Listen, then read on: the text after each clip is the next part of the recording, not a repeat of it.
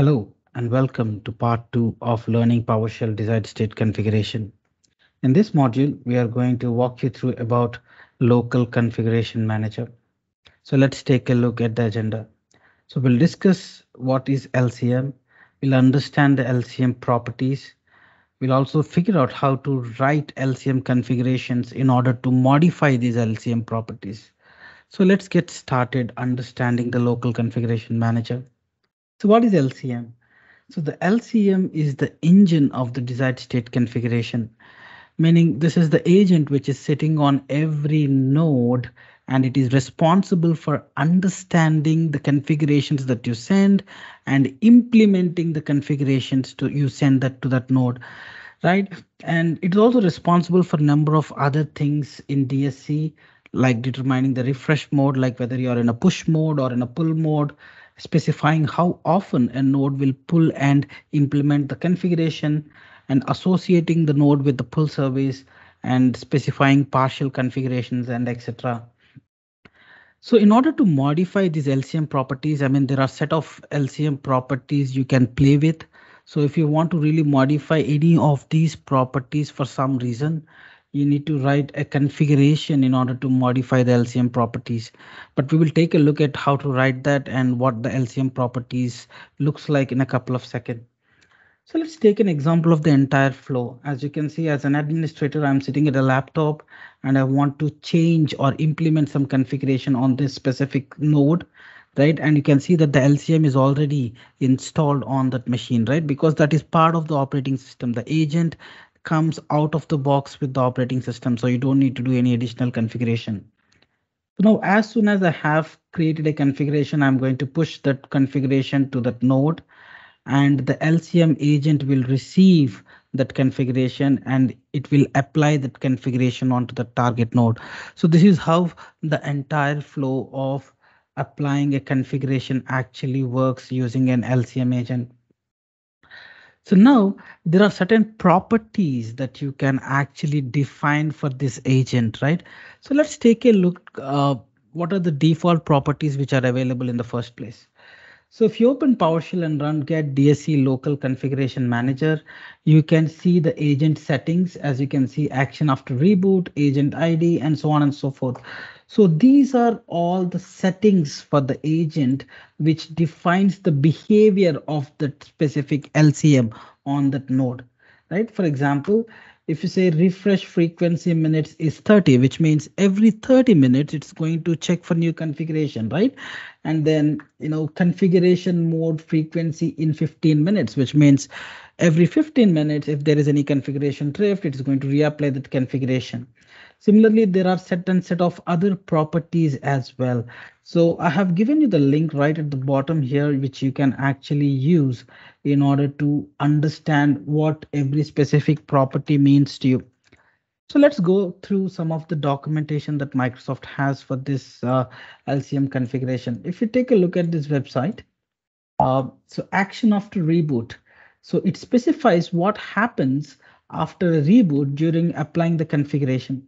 The possible values are configure, continue configuration and stop configuration. Meaning, let's say a node is applying a configuration and in the middle, it may require some kind of restart, right? It need to reboot the machine to proceed further. So in order to implement that configuration, the node gets rebooted. And right after the node comes online after the reboot, what, sh what should the agent do? The agent should proceed with the rest of the configuration or it should stop there, right? So that's what this action after reboot property actually defines. So if you set to continue configuration, as soon as the machine comes online, it continue with the rest of the configuration. But if you set to stop configuration, the machine will not proceed with the rest of the configuration after the reboot. So which is very important to understand. So there are other things like allow module override, which is set to a Boolean value true or false, meaning if a new configuration is downloaded from the service, uh, are allowed to override the old ones, right? If you are actually having multiple overlapping modules, and if you want to have them side by side or not, right? Version 1, version 1.2 of same specific module, for example, right? If you want to have them side by side, right? Uh, you will set this value to uh, false. If you want to override as soon as you have a new version of a module, then you will set this value to true, right? So there are descriptions for every individual property as we can see here. You can go through this documentation from docs.microsoft.com, which gives you a very clear understanding of every single property. Now, this properties can be changed, right? Based on your specific requirements and based on how you want to actually, uh, you know, configure your target LCM node, you can tweak these properties. Let's say if I want to set the configuration mode frequency minutes to 30 minutes instead of 50, yeah, that is absolutely possible. But this is not something that you rightly can change, right? You need to uh, write a configuration script, right, in order to modify these properties. In the previous section, I have shown you how to write a node configuration strip, uh, script in order to uh, more, push a deployment, right? We have installed telnet and so on and so forth. If you haven't watched my previous video, just go back to my previous video, part one, and understand the configuration deployment for a node. And then if you come back here, it will all make sense, right? So these properties are definitely editable, but yeah, you need to write a configuration script for that. So if you have watched my previous video, you know what is a configuration script. So a basic configuration script uh, would look something like this, but you know, this is very specifically for modifying the LCM properties. So we you will use this uh, DSC local configuration manager uh, meta tag in order to help understand PowerShell that you are creating a configuration in order to modify the LCM properties. Okay, so let's take a look at the node configuration versus the LCM configuration. So on the left hand side, you can look at the node configuration. So this node configuration is actually installing some features like IIS, right? And ASP, and then uh, it also ensuring that we have all the prerequisites installed for IIS. So that is what this configuration is actually doing. So it is doing the technical implementation on the server, right? Installing the IIS role, configuring the ASP.NET, and so on and so forth. But on the right hand side, if you take a look at this configuration, this configuration is especially uh, for modifying the properties of LCM, right? Modifying the properties of LCM. Let's say you want to modify the, you know, uh, the configuration mode frequency from 15 to 30. And if you want to change this refresh frequency from, from 30 to 60 or something, you cannot directly do that. You need to write a configuration script like this right, in order to modify that specific properties. So I will walk you through, right, uh, this LCM configuration. So for majority of the part, the LCM configuration looks very, very same as a node configuration. But the only difference you can observe here is this meta tag, which is nothing but the DSC local configuration manager tag, which is used to indicate or which is used to tell PowerShell that this is a meta configuration, right? A meta configuration is nothing but a configuration that I am writing to modify the LCM properties, LCM properties. Like our node configuration, our configuration starts with the keyword configuration and you can give some kind of a name to your configuration. Every configuration will have a name, right? And then you can specify the node on which you want to configure the settings and I said node is local host. And then you can specify the list of settings you want to modify. For example, here action after reboot is set to continue configuration. But if I want to change it to stop, right, stop configuration or something, yeah, I can assign that value here. Allow module override is set to true. But if I want to change that to false, yeah, I can do that and so on and so forth. So once you write this configuration, you will apply this configuration to the LCM so that it will modify the properties of that local configuration manager on that node. So let's go to my lab environment and see what my existing LCM state is, and then we will see how it actually can, uh, you know, Uh, help you to write a script and modify the LCM properties. So I'm just trying to reconnect to my lab. So just give me a second here. All right, we are in my lab environment. I have launched PowerShell and I'm going to run a command called get DSC for desired state configuration and local configuration manager.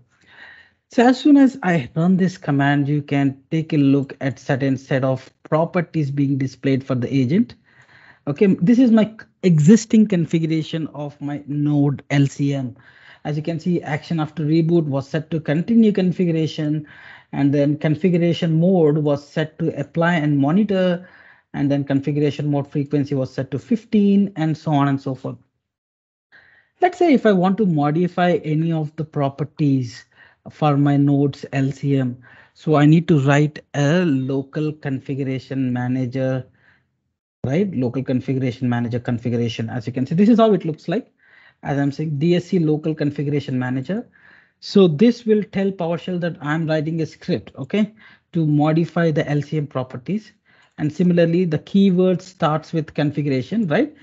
All the configuration script starts with this keyword and you will give a random name, any name that you would like to give. And I have given set push mode here.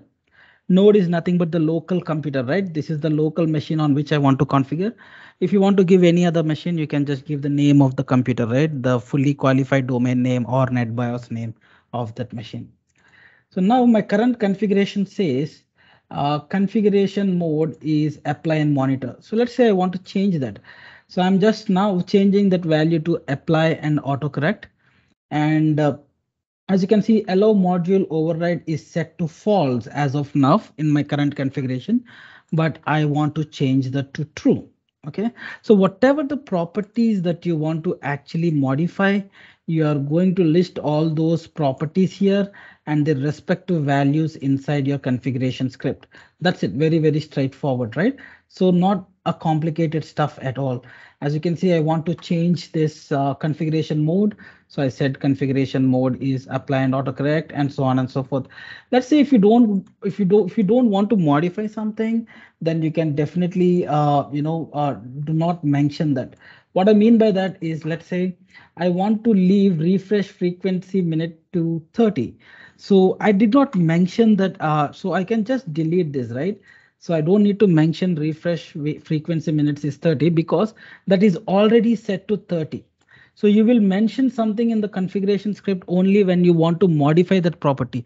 If you don't want to modify that property, you don't need to actually uh, mention that property in the script because, you know, as soon as I push this particular configuration script, these settings will merge with the existing one, meaning if you don't mention something, it will stay as it is but if you change if you mention something right if you change if you mention something which is completely different from what existingly it is so it will get modified right? So currently my configuration mode frequency is set to 15 so i'm going to change that to 30 and also my status retention interval time in days is set to 10 but i want to change that to 7 so i mentioned that inside my configuration script and also reboot if needed is set to false, which I want to change to true.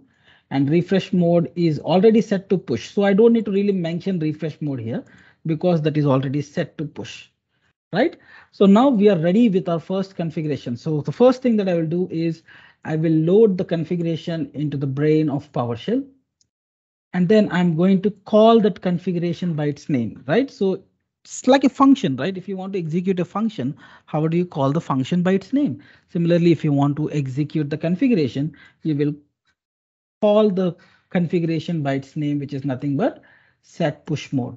So now this is going to generate something called as meta.mof meta.mof so previously you might have seen in the video the last video when i wrote a node configuration right you got a mof file which is node.mof, which is nothing but the node name.mof, right? Whether it is DC or whatever the computer name, you will get the mof file as computer name.mof, right?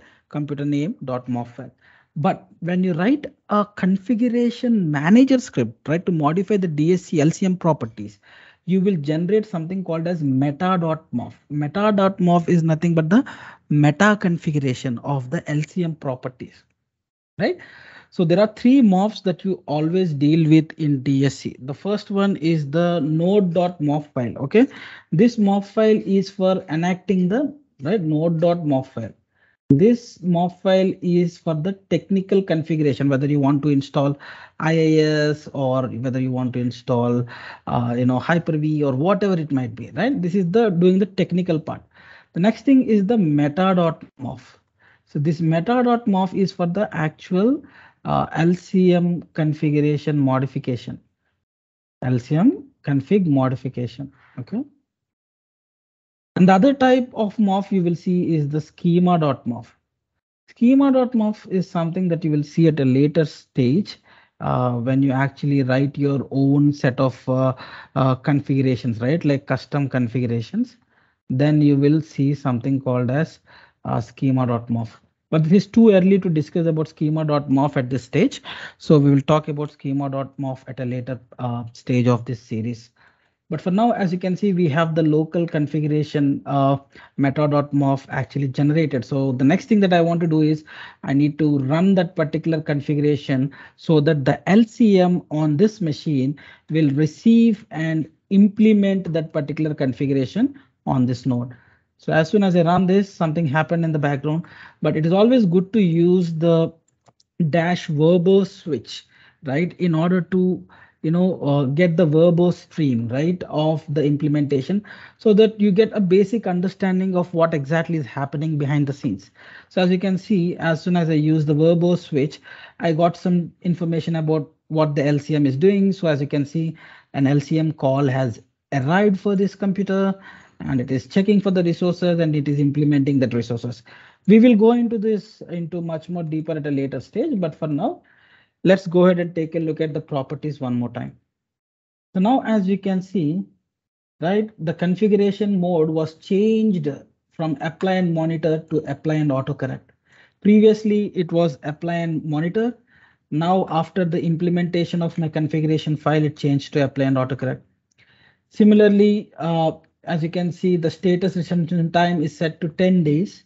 But in my case, now it is changed to seven days because in my configuration script, I set the status retention time should be seven days, right? So this is how you modify the LCM properties, right? And we will discuss much more deeper about troubleshooting the LCM and so on and so forth in the upcoming series. But for now, in this module, we have discussed about what is LCM, right? And what is the responsibility of LCM? this derive the properties of the local configuration manager and how to write configurations to modify the properties of the local configuration manager. That's it for this video. So please do like and share and subscribe if you want more content from me. Thank you and have a wonderful day. I'll see you in the next video. Thank you.